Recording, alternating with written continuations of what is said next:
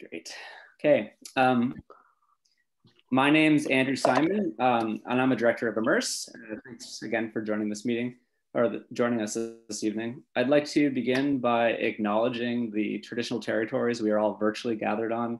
Um, I'm joining you from Galiano Island, uh, the traditional territories of Penelakut, Hwlitsum, and Tsawwassen, as well as other Halkamenem speaking peoples. Um, and I'm grateful to have the opportunity to share this experience with you all this evening. Um, so I realize we're all tuning in actually from different parts of the region. So how about we all just take a moment to type into the chat a land acknowledgement of your own. It can be very simple. Just be nice to get a sense for everyone is joining us from this evening. And uh, yeah, well, welcome to Micro Explorations, our first um, scanning electron microscope outreach program sponsored by Hitachi, UBC, and the Institute for Multidisciplinary Ecological Research in the Salish Sea, or IMERSS. Uh, IMERSS is a nonprofit organization that was founded to set an example for community-based long-term ecological research here in the Salish Sea bioregion. Our vision is to foster a resilient and interconnected Salish Sea. Uh, and our mission is to create capacity for diverse communities to participate in this vision through the practice of observing the natural world around us and establishing biodiversity baselines to better understand the ecological change that is upon us. Uh, so in this series, we'll be bringing together the wonderful Dr. Elaine Humphrey with various experts uh, to explore a variety of topics in natural history um, through the lens of a scanning electron microscope. These sessions are intended to be open-ended and participatory, guided by your questions, um, our observations, and the insights of our experts who are joining us. So please don't hesitate to share or ask any questions you might have about what you're seeing at any point. Also, uh, we're always looking for ideas and guest experts to join us. So please let us know at the end of this session if you have a topic you'd like to propose. So yeah, essentially this evening, we're just going to look very closely at the microorganisms that make their home on blades of eelgrass using a, a scanning electron microscope. Uh, we'll see lots of interesting things that, that are normally completely invisible to us, uh, which we can all uh, interrogate and ask questions about and our experts here this evening will have the opportunity to interpret what we're seeing. The session will run about an hour until 8 p.m., uh, though it may go a little bit longer depending on how engaged everybody is. Um, yeah, so before we get started, I'd just like to introduce to you our facilitators this evening. So we have the Dr. Elaine Humphrey joining us from the Advanced Microscopy Facility at UVic. Um, Mark Weber, who's been studying diatoms uh, in the Salish Sea for the last decade here on Galiano Island. And Siobhan Schenk, who's a PhD candidate at UBC, where she is exploring the microbial communities that make their home on eelgrass as well as sugar kelp, if I'm not mistaken. So yeah, I'm actually going to take, uh, invite each one of you, Elaine, Mark, Siobhan, to just introduce yourselves briefly. Please tell us a little bit about your background and, and what we're going to be looking at this evening. We'll start with. Um, I know, I, I think I'll my background is going to come in as as we talk. Okay, sounds good. How about um, we? How about Mark? Would you like to introduce yourself? You're muted. uh, Mark Weber, uh, same as Elaine, uh, will maybe become a parent, but uh, live on Galiano Island and uh, have been studying diatoms um, as a kind of a passion, hobby, interest in collaboration with Elaine and some others. And last year began a study with um, the Parfrey Lab and Siobhan and Laura Parfrey and Emily studying eelgrass. And we're looking at the diatoms. We're also looking at all the microbial community. It's a fascinating project, and uh, over here we have a lab and uh, with light microscopy, and uh, one of the things I do over here is prepare the the uh, stubs for the electron microscope, prepare the samples, as well as uh, uh, slides, um, and also we're working on mapping, and that will, we'll talk about that later. But anyways, very brief um, summary. Thanks, Mark. Uh, Siobhan, would you like to share a little bit about your, your background and how you came to be here with us this evening? Sure. So I'm a PhD student in the Parfrey Lab, and how I initially got involved with IMERSS was through a project with uh, actually Mark, Elaine, and Andrew has been helping with this project. And it was started by another PhD, candidate in the Parfrey Lab, Emily Adamczyk, who's also a member of IMERSS. So we're looking at the microbial communities, that's the diatoms, the bacteria, and the microscopic eukaryotes that live on seagrass. And like Andrew mentioned, I also study sugar kelp. And the reason for studying this microbial community, besides that it's really cool, is that it's very important for the health of kind of the host organism.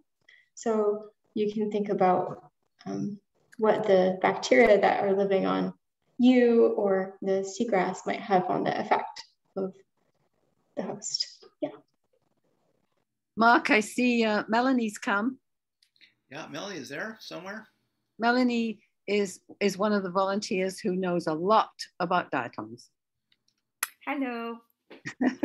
awesome, Melanie. Melanie. Thanks for joining us. I see we have Nikki right here is also specialized in eelgrass communities and has dedicated a lot of her life to that work. So it'd be great to have her insight as well.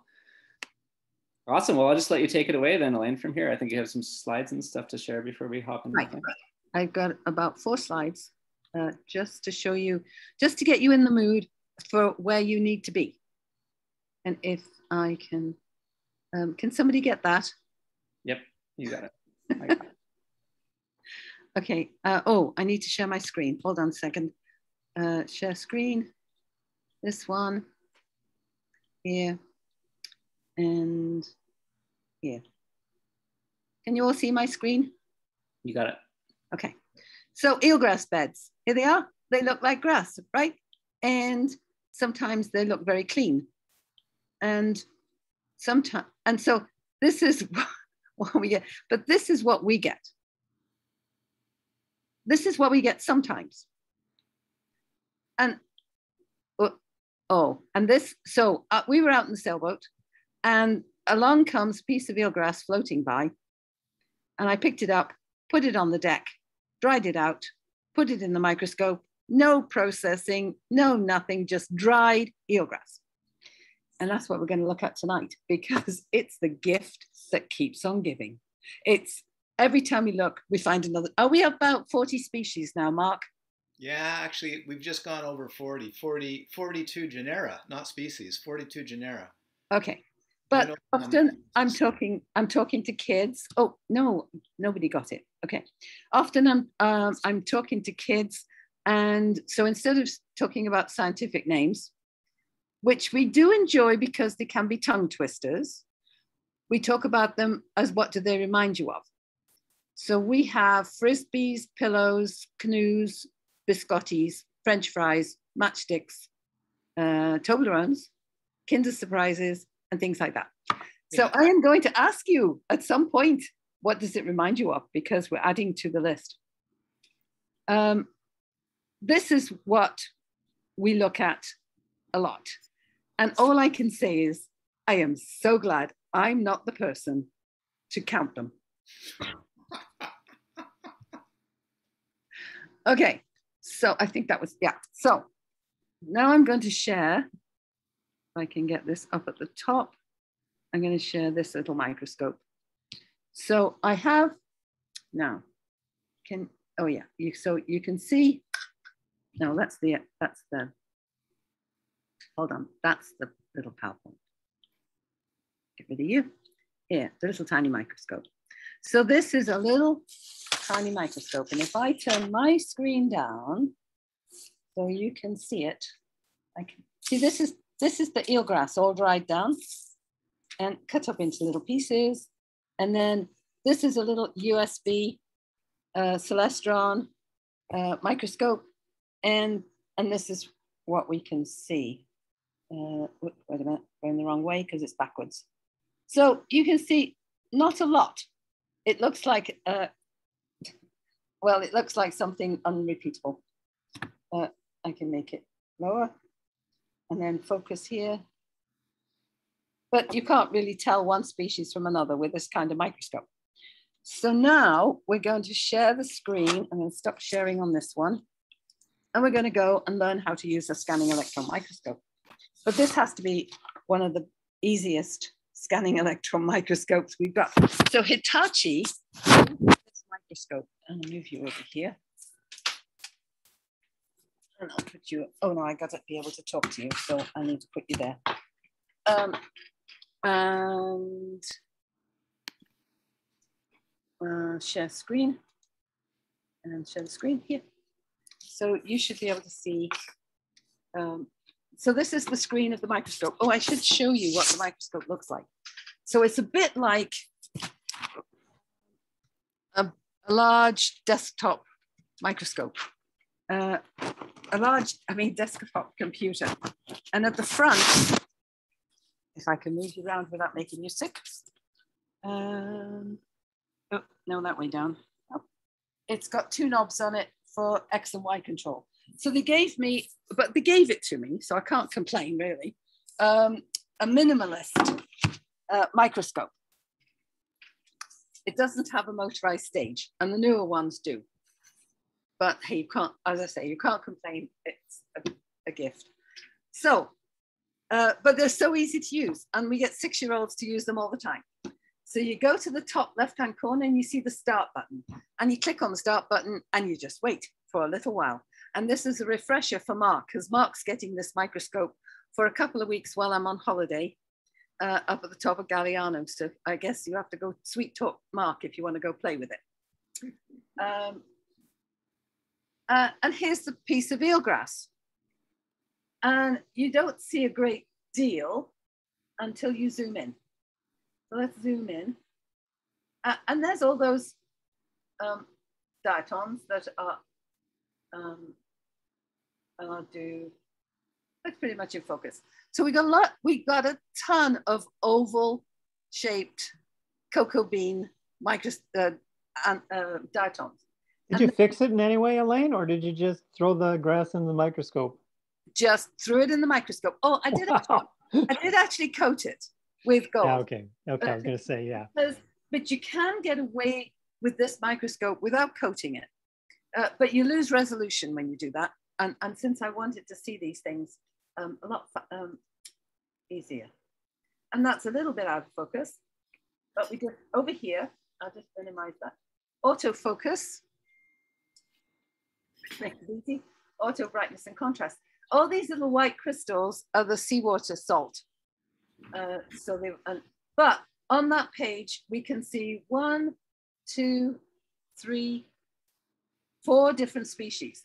So there's these uh, the cocoa bean ones, but then there's these ones here. Uh, is that a biscotti, Mark? Did we decide that was, a, and this one up here could be a biscotti? Uh, could be. Yeah, I think the lower one looks like a biscotti, probably uh, catenula. Yeah. Still, and then this, still this, haven't confirmed that genera. And this one up here is a canoe. But um, yeah, but you can see there's a difference in sizes. And these uh, cocoa bean ones are one of the smaller ones. Uh, so, but also on this thing, suddenly you see all kinds of other things. Let me just do an auto brightness and contrast. I just move this over with the X and Y controls. Look at this. We've got a couple of things here. Um, this thing here,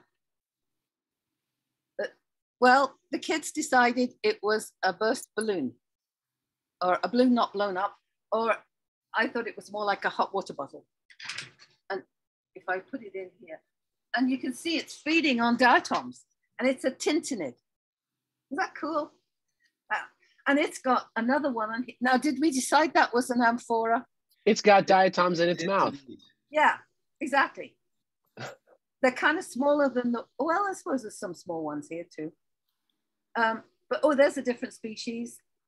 Um, but this one here, is that, did we decide that's an amphora? That's an amphora for sure. Yes. Yep. Okay. I got and, two confirmations on that. And French fry in there. That's French fry. And there's a long arrow Okay. Uh, oh, but these guys here, let me move it over. There. Whoops.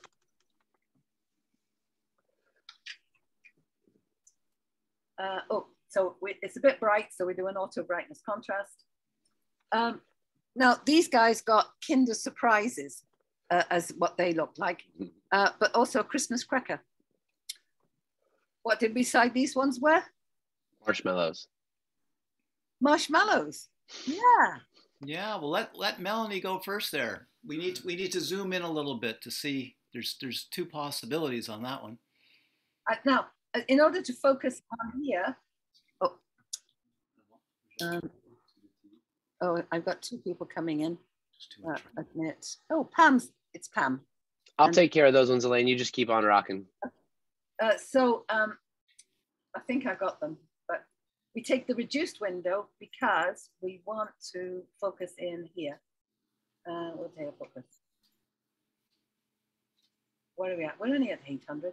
Um, hmm. We got lines on the screen, so something, oh, I forgot to tighten it up. Uh, shoot but that could be charging so that I need to um, focus a bit more. Any ideas, Me- Melanie? Yeah, Melanie, you go for it. Get the species, Melanie. I couldn't I couldn't do the, the the species on that, but that looks like a Philadelphia to me. Philadelphia. Okay. Oh, And then look at those this one. collars. Look at those collars there, Melanie. Oh, Odontella. Odontella? No, I think. Oh, okay, Mel- you do it. Melosira. Mark. Okay. Melosira. But over, he- over here, we have Lewis. Uh, the kids decided that this guy was called Lewis because they get to name them sometimes. And so this is a copepod. And most of the things that we see are also in pond life. And you get copepods in pond life too. Uh, so we do a slow scan. Um, and this guy, um, the tail, there's the tail and the abdomen and the thorax. And then copepods that have very long antenna are herbivores. Copepods with short antenna are carnivores. So this guy is a predator. Uh, we won't stay long on the, the, the idea of copepods is um, you can talk about them with the kids because they're ones with the squishy stuff inside and the hard stuff outside. And we have our squishy stuff on the outside and our hard stuff inside. And if you have your hard stuff outside, you still have to be able to sense where your mate is or where your food is, or whether it's hot or cold, or whether it's fresh or salty enough for you. So um, let me just um, brighten this up a bit. Um, so I'm going to go over here to another piece. Suddenly, our number of species just increased. And this is on the same piece of, it's just, I cut the piece up. So I, uh, let me see, we need an auto focus. See, what, what I mean, it's so easy. Auto brightness and contrast and a slow scan. So the way an electron microscope works is the electron beam comes down the column, very tiny tin pinpoint of a beam, hits the specimen and kicks out secondary electrons. And they are picked up by the secondary electron detector. The detector doesn't move and the specimen doesn't move. It's the beam that moves across in a raster fashion, hence the name scanning electron microscope. But here we've got those um, marshmallow, marshmallows. I like that. Uh, marshmallows and lots of coconuts and lots of matchsticks and French fries um, and so on. Okay, so we go back. But the trouble is, if you try and move when you're in slow, um, it, you have to wait for the whole thing to go through to see what your real estate is looking like. So you go to fast and then you can move things in real time. Um, so we're now going to go to my favorites. You'll like these. If you're an artist, you'll like these. Because these are the Toblerones. There's a bunch of them here. They're little triangles. So they have a lovely scientific name, Trigonium. See, I learned that really early on, but I like Toblerones better. And they're all out of focus. So we're gonna go, ah, that may, may be a problem. So we'll use the reduced window and we will go autofocus. Okay, and now, if we zoom into this guy, and you see the pattern, look at that. Is that cool? So when you, when you ask the kids, what does it remind you of? Uh, they said uh, roses, um, flowers, gummy bears. Hmm. Now, if you're an artist, you would be, or you could doodle that, I suppose. We'll take a bit. And this bit, this stuff on the side here. Now, first of all, we should tell you why diatoms are so important to us. And that's because they're going to provide 20 to 50% of the world's oxygen. So trees are all very good because one tree can keep four people alive. But diatoms, 50% of the world's oxygen when it's blooming is quite a lot. So they're really quite important to us. But when they die, they form these little bits. And that's diatomaceous earth. Hmm. I did have uh, four reasons why diatomaceous earth is important to us, but I forgot one. The function of the perforations on the shell, is this how it interfaces with the environment or? Well, imagine you've got hard bits on the outside and you need to get oxygen in and out and you need to get nutrients in and out. So they're pores. They're pores. And organic, but organic there's, garden. There's an organic layer over the surface which you can't see because it's come away. Uh, and most people who um, tell you what type of diatom it is try and get rid of that organic layer so they can see the holes. And you can tell one species from another by the pattern of the holes. So, so um, right, it looks like there's about five or six holes in each of the bigger holes. Yeah. And they have a name. I mean, you know, diatom people give it a name. Uh, pass. Craoli. Craol. Who? Areoli. Areoli. Yeah. So there's yeah tiny tiny holes within holes uh, for gas exchange and nutrient exchange, and uh, they're very complex actually, and the no, structure is very complex. Down the active transporter pores, or are they just really just holes? No, they've got an, an organic membrane over them in and through. But at one point down the hot corridor, we have a focused ion beam, a fib. So we fib a lot in this lab. And um, it cuts things in the nanoscale. And one day I could see both screens from the SEM, the S4800, and the fib. And at one point, they both had the same pattern on the screen. Now the fib was cutting 50 to, nine, uh, 50 to uh, 80 90 nanometer holes in arrays. And the SEM was looking at diatoms. It was Jamie Mark on the, on right. the SEM looking at diatoms.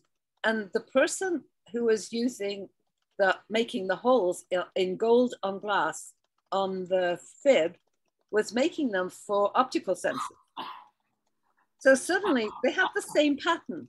So suddenly Mohammed, who was working on the fib, is looking at Jamie and saying, they must be controlling the wavelength of light that goes through the holes.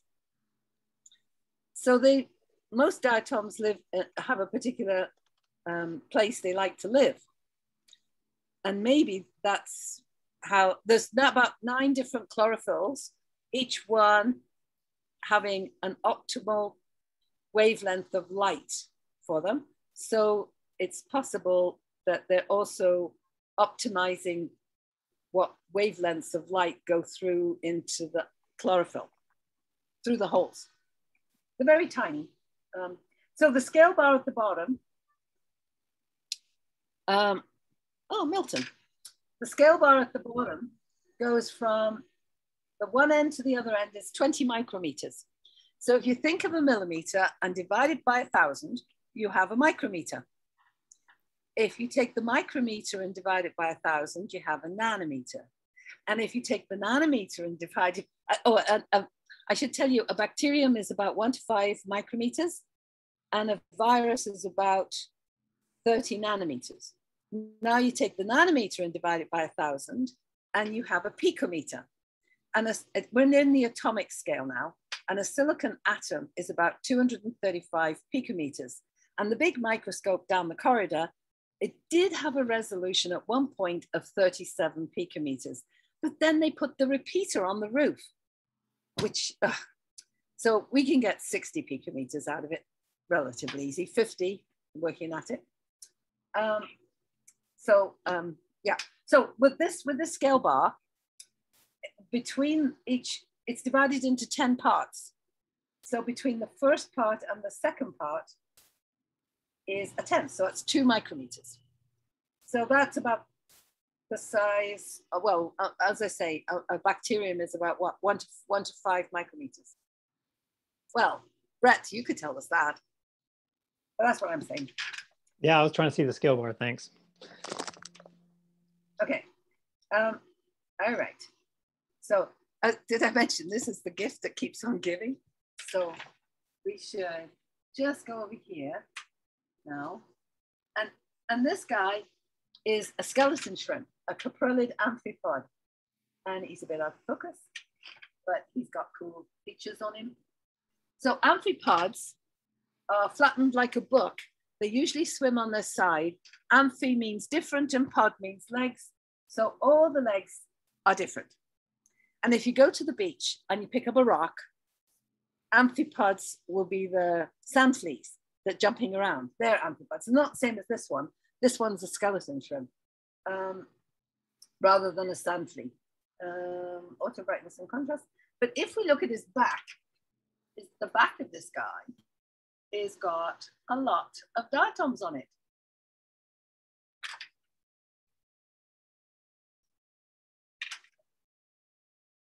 And the seawater, of course, has crystallized out because it was sitting on the deck drying in the sun. And you know, as you know, seawater is salty, sodium chloride, but sodium chloride under the SEM looks like little cubes. But nobody told this one it was supposed to be a little cube. And this one here, oh, let's just do an autofocus on that.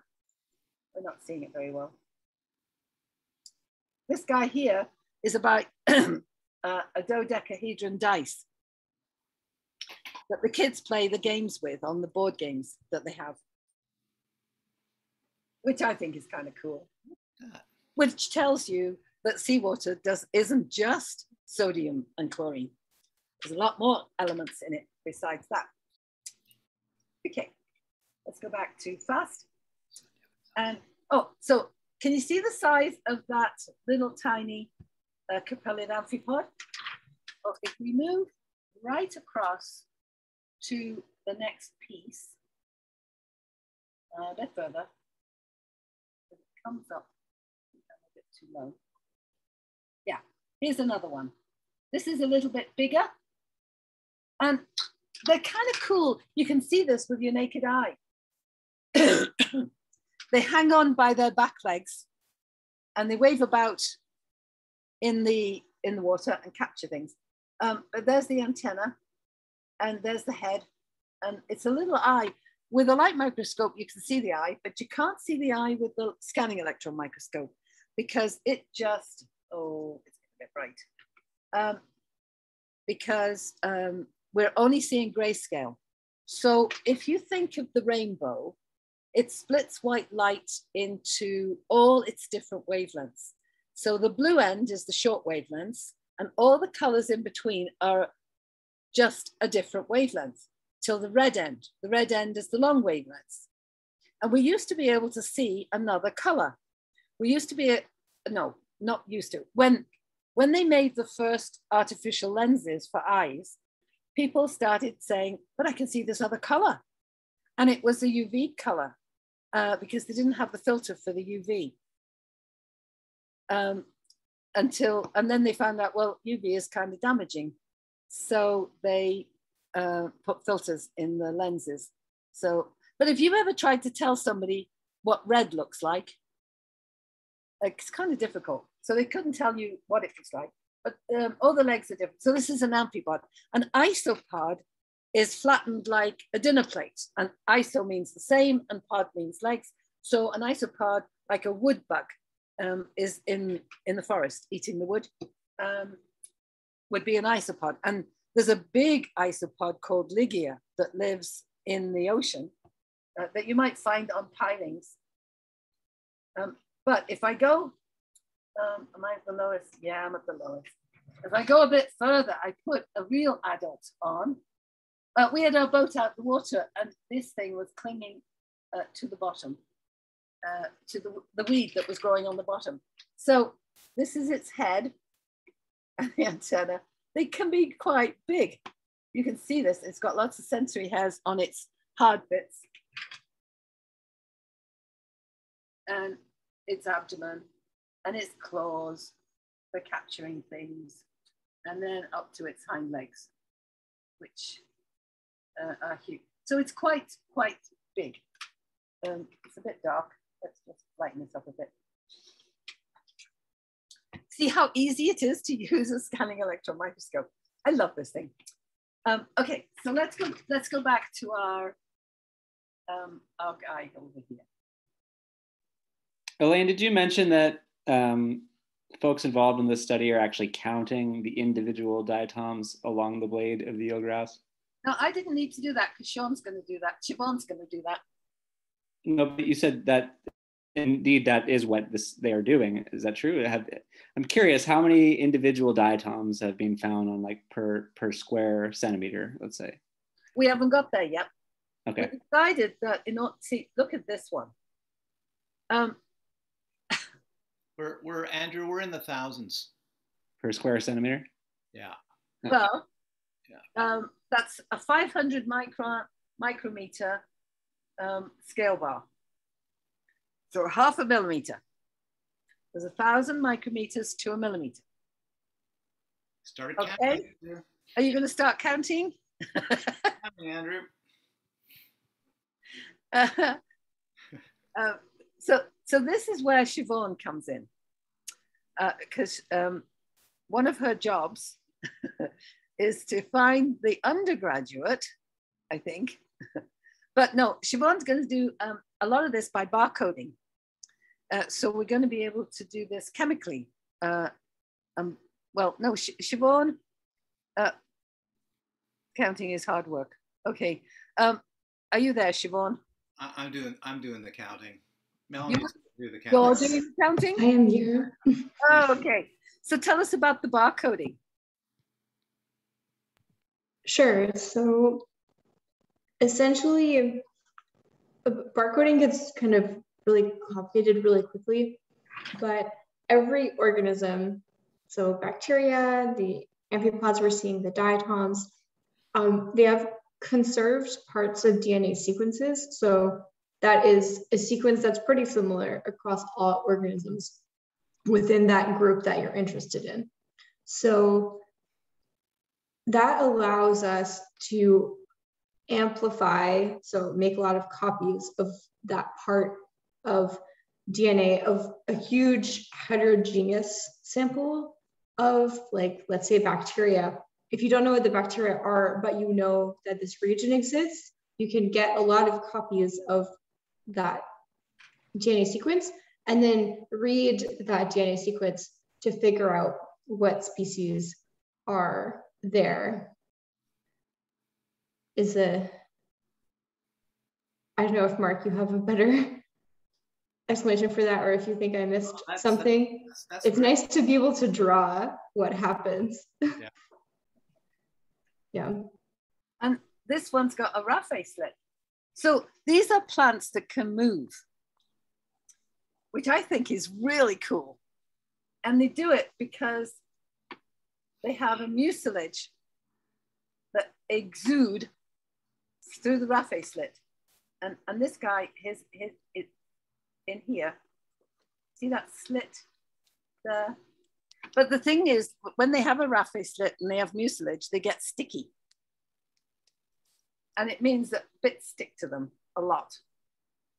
So Siobhan, when you do your barcoding, how many genera species? I mean, wh- what are you seeing compared to what they're seeing visually? I don't have the sequencing results yet, so I can't answer that. Um, I here's the thing, because we're looking at a specific kind of known sequence of DNA, our primers that are used to amplify that part um, sometimes miss species, or let's say there's a really rare species that wasn't in the SEM sample and was picked up by the sequencing that's how you can get mismatch between the like visual accounts and then the molecular data. So ideally we would have 100% correspondence, but that's not what I'm expecting. So what are you amplifying? Geek question here. So everyone else plug your ears. Was it ITS yeah. or? So for diatoms, we went with RBCL because that's what the uh, barcode of life, I think is what right. it's called, project uses. For bacteria, we're using the 16S V4 yeah. region. And then for the eukaryotes, we're doing it 18S. I forget what specific region exactly, actually. Yeah. Thanks. So we have three sets of primers. Okay. Um, so in here, so there's there's our Capelli, our, the original one. And somewhere in here, no, a bit further up. So you can see the matchstick ones. And oh, here's one of the pillar ones, I think.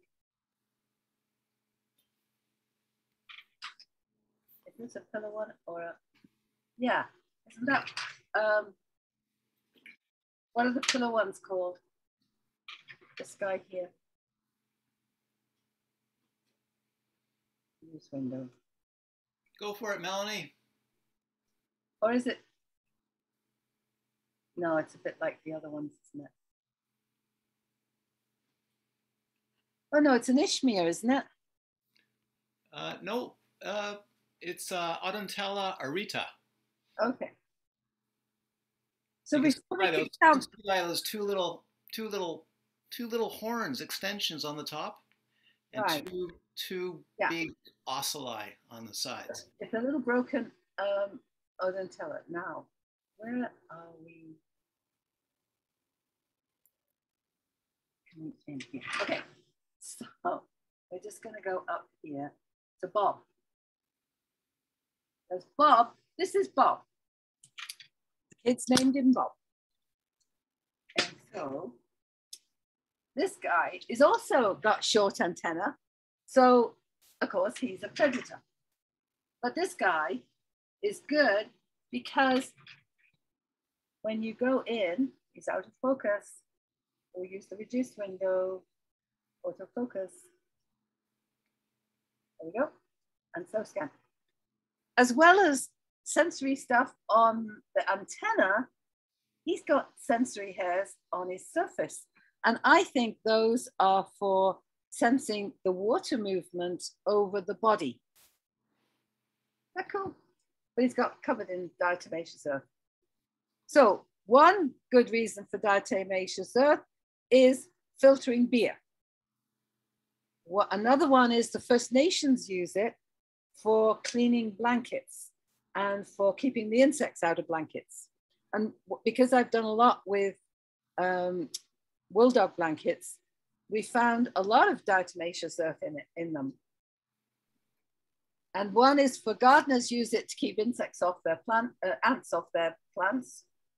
Um, and somebody gave me another one the other day and I've forgotten what it was. Yeah, Elaine, I was going to say earlier, organic gardeners do use it for all sorts of pest control. And I also heard this week that they use it, you know, to do like to deal with bed bugs and like uh, shelters and stuff like that. And so it, it's a it's a, a, organic pest fighting material. Great. Oh, here. And dynamite. So, and over here.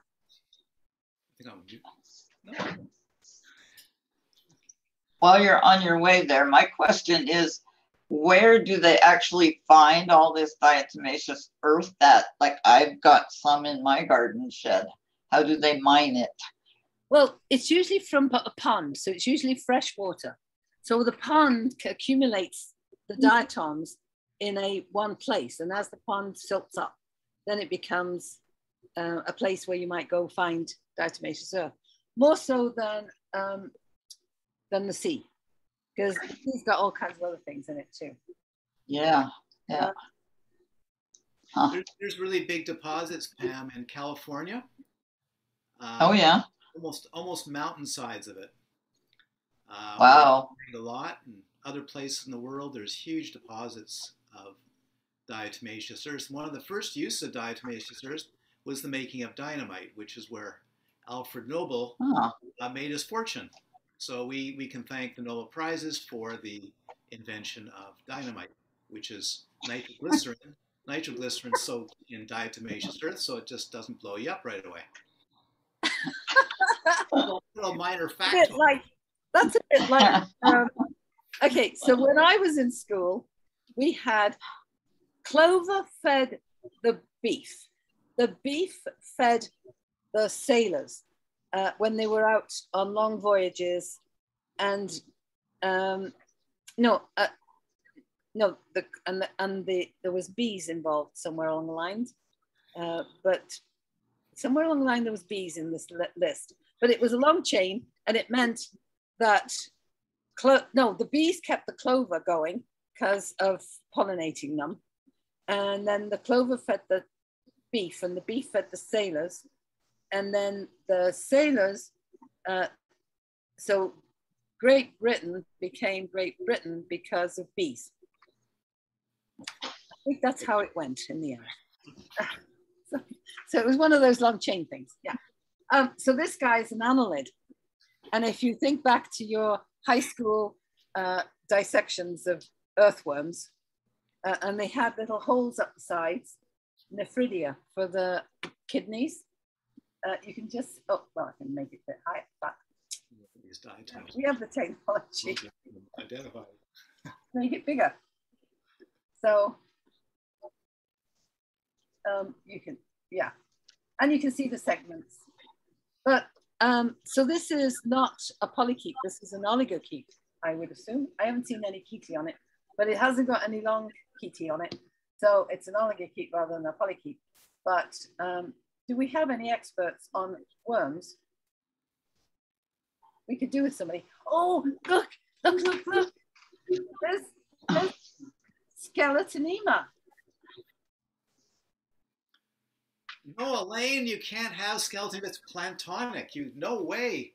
That isn't, that's skeletonema, isn't it? It is indeed. It is. Yeah, but this, don't forget, this this particular piece of eelgrass was floating in the ocean, which makes it planktonic. How much how much overlap have you seen so far between the planktonic samples you collect versus the epiphytic samples on the eelgrass? Um, not a lot on the eelgrass that we get from the eelgrass beds.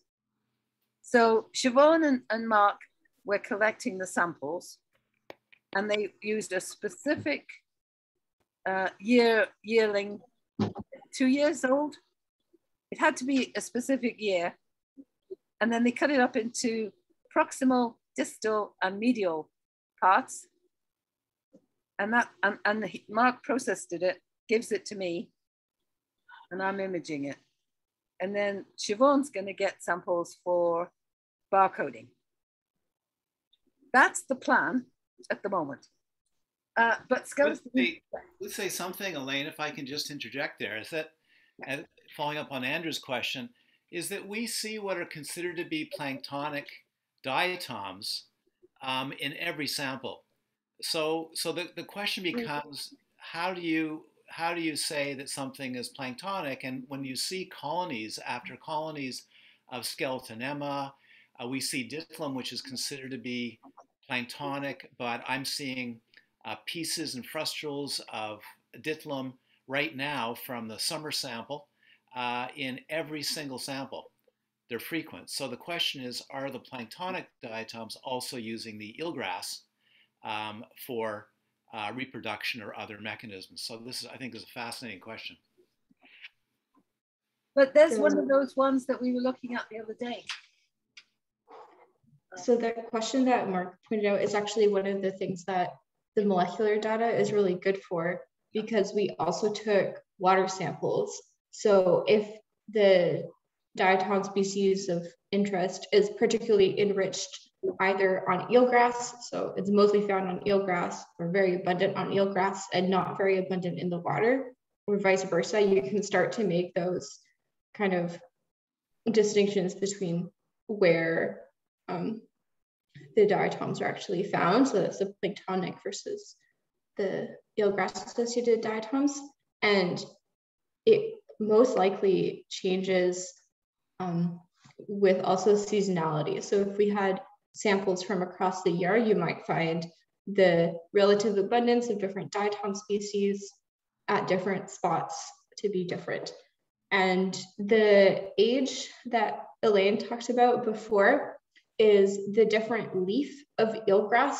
So eelgrass, um, how you look at the leaf morphology is like the first leaf is going to be the longest, and then you have uh, different ones that grow out from the top. So we sampled the second and third leaf for our study. I have to take this one because this is a new one to me. I was going to say that, Elaine. Take that. Take it right now. I'm taking it. we, we can't let this one go by because we might not find it again. what is well it hasn't got a raphe slit.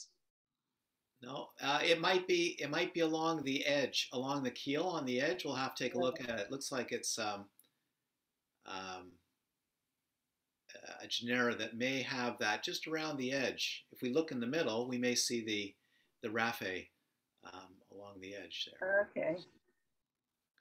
So oh, one other thing that, that that we're working with the the Parfrey Lab on is community structure. So we want to also see whether the the diatoms um, have an organized community structure and patterning uh, spatially and, and across the, um, the eelgrass. So the counting uh, of the genera um, and the using the barcoding uh, and relating it to bacteria and so on will, will begin to reveal whether there's actually organized community uh, structure uh, within the diatoms and between the diatoms and other organisms. So that's really where we're, that's where we're really, really heading.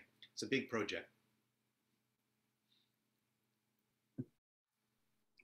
Can you reconstitute the stuff? Can you grow them and you grab a piece of water and seagrass, take it back to the lab? Can you grow these things? We sure can. Well, we can uh, not so much eelgrass, uh, Brett, but but uh, when I go after something, I haven't done it recently. But if I want to study something, I'll isolate it under the inverted microscope and pop it into some concentrated growth uh, saltwater growth media, and if I get fortunate, we can't we can't clone all of them, but if we get fortunate, we can grow them up, and then we've got a couple thousand for the SEM. We can study them a lot better. So if you sequence those and correlate that to the barcodes, then because you're gonna have to do that, exactly, right? Exactly, exactly. That's a major project because some of these benthic and epiphytic diatoms do not um, uh, clone easily. It's a lot of fiddly work to try to get them to uh, to grow up because they've got specific nutrients. They may even have bacterial associations. And yeah. once you start growing them up, uh, you take that away, and uh, some work, some don't. Um, There's another tint in it, hidden over. Okay, so let's go up this way. Um, here. And here we've got an ostracod Just to get this camera. I once worked on deep sea ostracods a long time ago, but you get them in pond life. This guy. Um, a little out of focus. Oh, we got a peanut. So there's one of the peanuts and the marshmallows. So here, so an ostracod is an animal, and it looks a bit like a bivalve, but it, it's it's not, and if you get them from a pond, you can see through them when you put them on the light microscope. And so you can see all the, you can see the heart beating and all the little legs going. And they're a great thing for kids to look at. Well, I'm a big kid now, so I'm on my, it's now that I'm in my second childhood, I can enjoy all kinds of things. Um, but here on this peanut, this peanut one is quite big.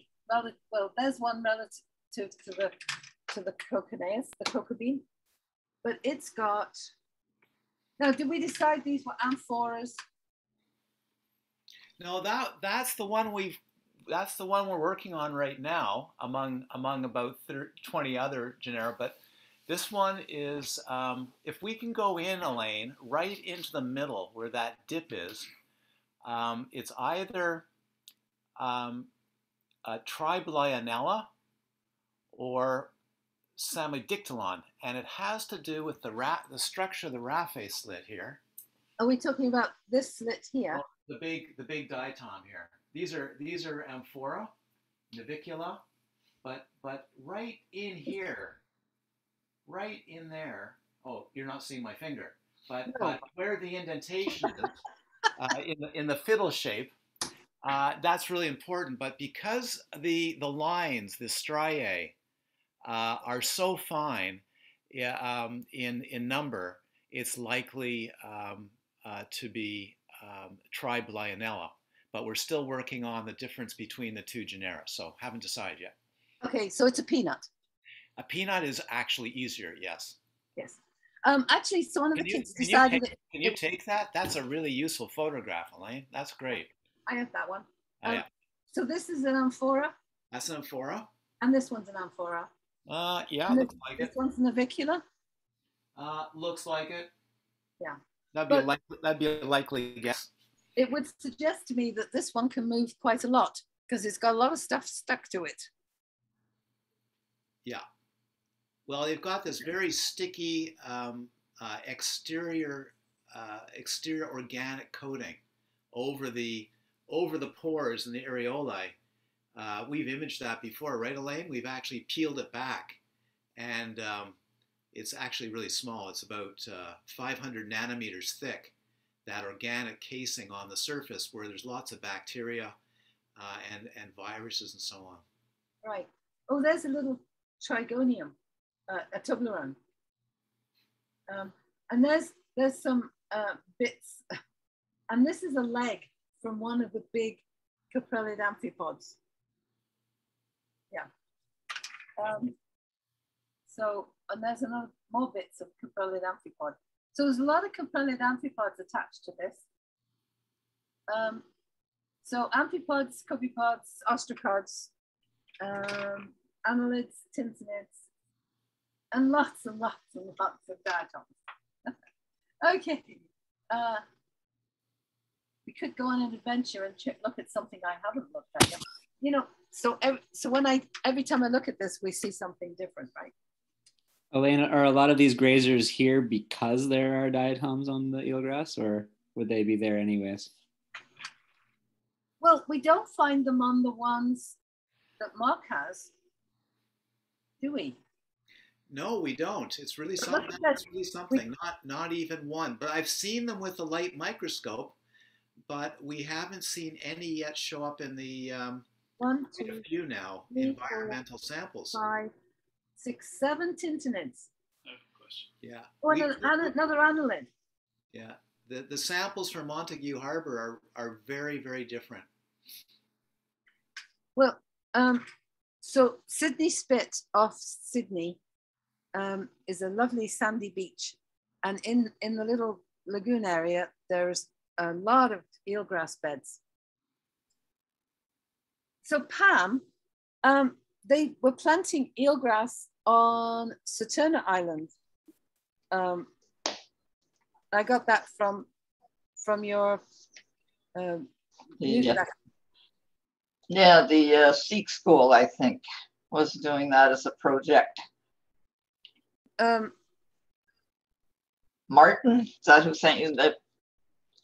Or did I send that? Yeah, I'm pretty sure it was the, the Saturn Ecological uh, Education School. Those kids. It Yeah. was their project. Aha. So how when did they start um, putting them in? Um, I have actually no idea, but I could find out for you. I mean, I was thinking how Uh, old, how old are are the plants? Um, it, they, did- they did it this year. They did it this year. Okay. There's a lot of eelgrass on Saturna that's been documented already, but not. This is the first time it's been planted, I think. And Mark and Siobhan, are the eelgrass beds on outside Montague Harbour? Are they spreading?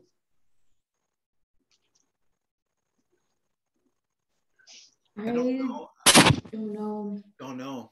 I think we were only just now recently getting some ex- mapping of the extent of those beds at Montague because the Galiano Conservancies, I guess uh, either Nikki or you could chat with Rob Rob Un- Underwood or Underhill rather at the main Conservancy might be able to answer that question. Okay. Um, well, we, we've only got like four minutes left. My clock out here. Um, well, we could go on an adventure to have a look at one of the other pieces on the other side that I haven't actually looked at. I got Adventure, adventure. All right. uh, Um, I'll just tell you while we're looking, the trust did a lot of eelgrass mapping, um, maybe eight to 10 years ago, six years ago, something like that, all around the islands. Yeah, uh, this is Nikki. I'm just writing a note, but I don't type as fast as I speak. Uh, this is from Sea Change. And yeah, about um, 2012 to 2014, we looked for the presence or absence of eelgrass all around the 13 islands and the Island Trust. We also identified areas for restoration. So Lyall Harbor was the eelgrass transplant just done in early summer this year with those students. And Saturna Beach, we tried some transplanting as well. okay, thanks. Welcome. We, we will have to keep an eye on them. Yes, that's right. We monitor them every six months. Okay, so these are huge relative to the ones in the background. That, that, Oh, Mel- Melanie, Melanie, what would you say on that? Isthmia? I don't know if she's on. Yes, yes, that looks like Ismithia. Ismithia. Isthmia nervosa, eh? Nervosa? See those? I don't know the species, sorry. Yeah, the the um, those veins. The okay, veins. uh, Melanie, I know you don't have a lisp. Uh, what was that again? Ismithia. Is Misia? Yeah, I S is M Mithia. T H, something like that. Well, we haven't recorded that on the eelgrass, but we recorded it from Spanish Hill Wharf, Trincomalee, but we have not uh, found those on our samples yet. That's right. Okay, Yeah, so they're really Ah. distinctive. I'm. That's a great image, Elaine. Nice one. That's a great image. They're huge. That goes in the atlas, Elaine. Yeah, you could probably see these uh, with the naked eye. Oh, that's great. That's great imaging. That's a great Well, microscope. too. Uh, a little bit Absolutely dirty. beautiful. Actually, I'm not sure that is nervosa. Still got some of the organics in there. Nope. Try this. You want a bit more contrast. Try this one. So what's the end game? Match as many as you can and basically get an atlas of all the inhabitants of eelgrass? Yeah. Where, where, where are we going with all this? Oh well, well. There's several. There's a couple of projects on the go, but um, we're we're trying to make an atlas with lots of. We have some beautiful pictures taken on mostly on the S4800, the, the microscope down the corridor, because we can use tilt. This one hasn't hasn't got the motorized stage, but the S4800 is a field emission scanning electron microscope with one nanometer resolution, and so it can the stage can tilt, and we can rotate. Um, so we've been taking some really oh and and I've got this new technique now. Do you remember the dinoflagellate cysts?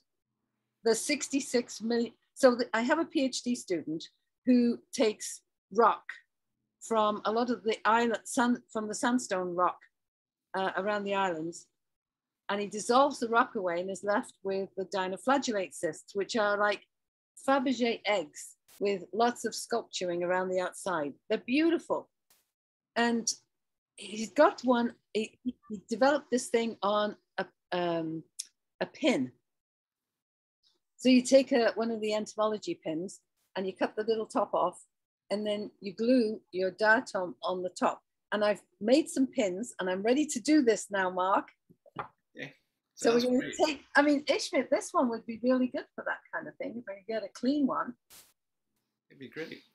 Yeah, so we can rotate it round uh, and, and uh, and, and get some really cool images. But this has still got a lot of organics in it. You, you can see a lot So- of the organics layer in there, but it's got areolae. When are areolae crib, you called something crib something. the the cribra the cribra there's a there's a in, often very often these pores have an internal um, light silica structure which is highly complex and diverse which is actually unique to the different genera and that cribra is inside those pores so if we look uh, carefully i don't know if this genera has has has cribra but it actually has a very complex inner pore structure, which we can look at, but it's not a clean, we haven't cleaned the organic matter off, so we may not see it too clearly, but it is there. When you think this is a single cell. Yeah. Um, this is like amazing. So to, to um, just to help, uh, Brett, Brett, your question there? Yeah, Elaine took a little diversion into microscopes. She did to do that. I'm really excited about the dinoflagellates, which is an incredible paper. I must say that work on extracting dinoflagellates is just fantastic. But so what we're doing is right now, what we're doing is a number of things. We're actually um, morpholo- through morphology determining the genera um, of the diatoms, both the frequent ones and the occasional and the very rare ones. Um, uh, uh, from March, from November, um, and um, actually the summer.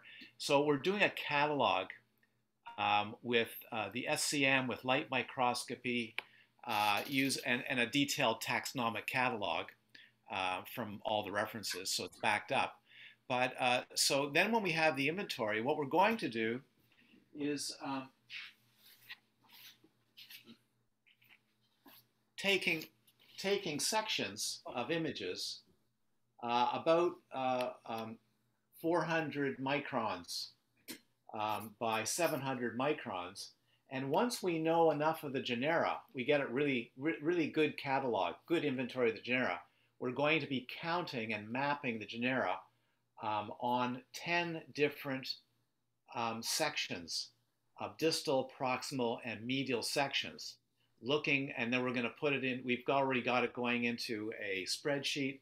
We'll do statistical analysis on it and see if we're going to start picking up communities, arrangements, and see if we can actually link that to the barcode uh, sequencing data and uh, look at our um, interrelationships, interconnectivity between uh, diatoms uh, and other eukaryotes and bacteria.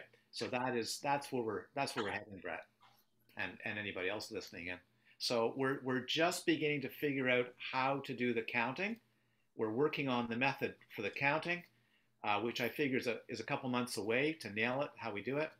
And then we're also still uh, working on the identification of different genera.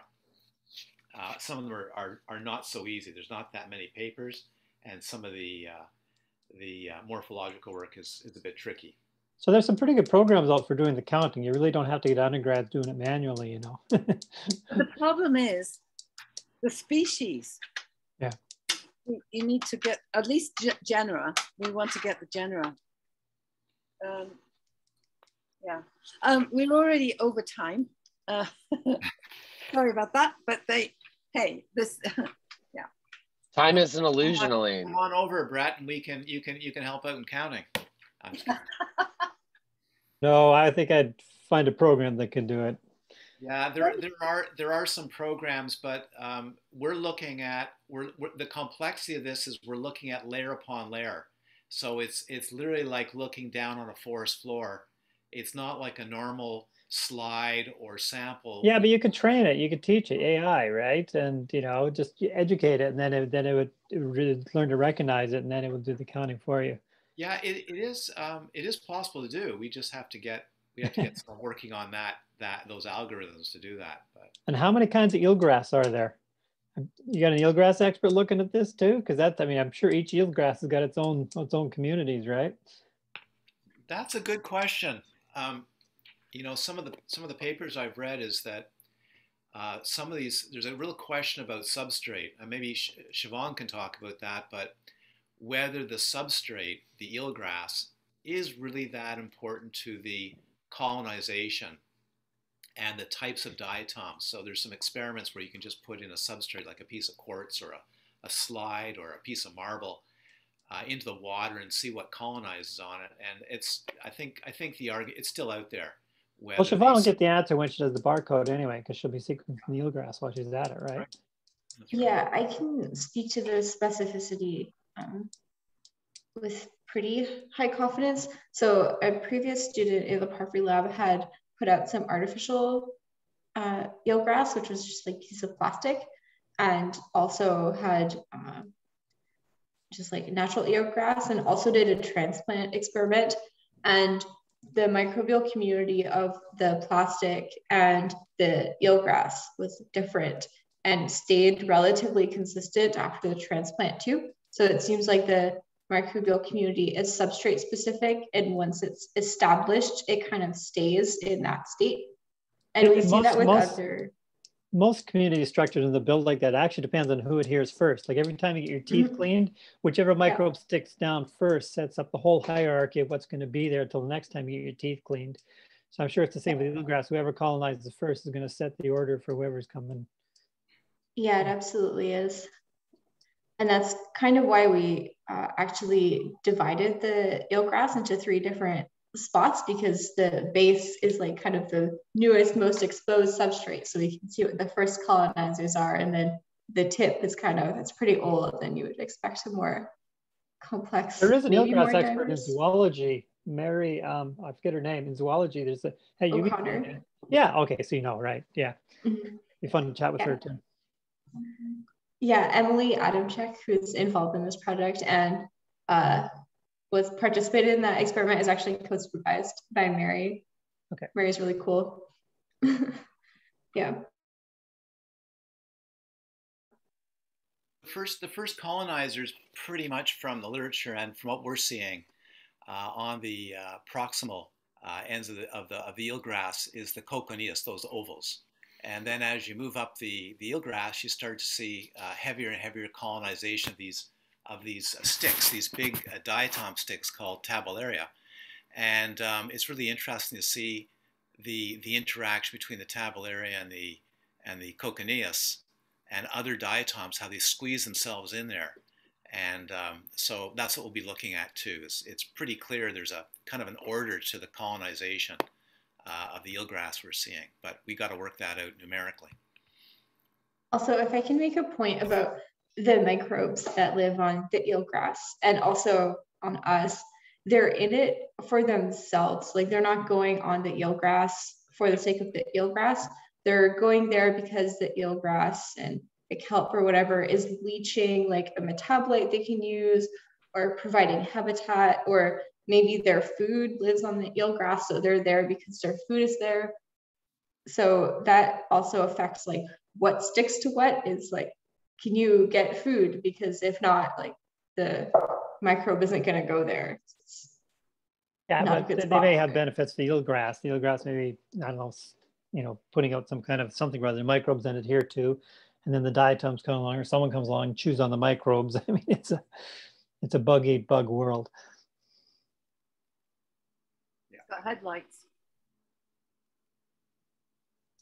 French fries with headlights. Yeah, call those tabularia.